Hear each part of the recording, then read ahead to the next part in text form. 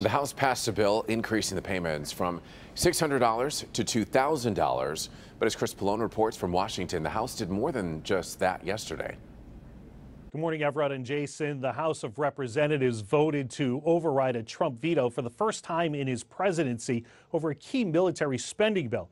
Question now is will Senate Republicans back the bill or the president?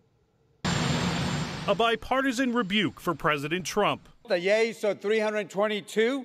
The nays are 87. More than a two thirds House majority voting to override his veto of the National Defense Authorization Act, the first time it's happened during the Trump presidency.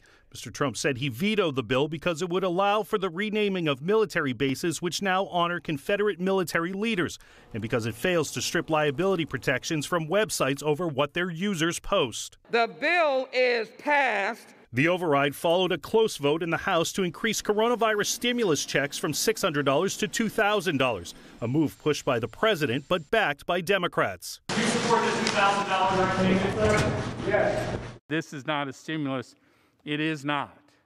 And it does nothing to help get people back to work. It sets up a test for Republicans in the Senate who generally oppose increasing the stimulus checks. I am telling Donald Trump don't just talk about it, act. These Senate Republicans have followed you through thick and thin.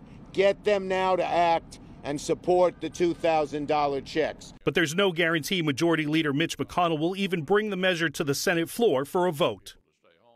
Vermont Independent Senator Bernie Sanders says he will block a vote on the Defense Authorization Act veto override until the Senate votes on increasing those stimulus checks. The current Congress ends on Sunday.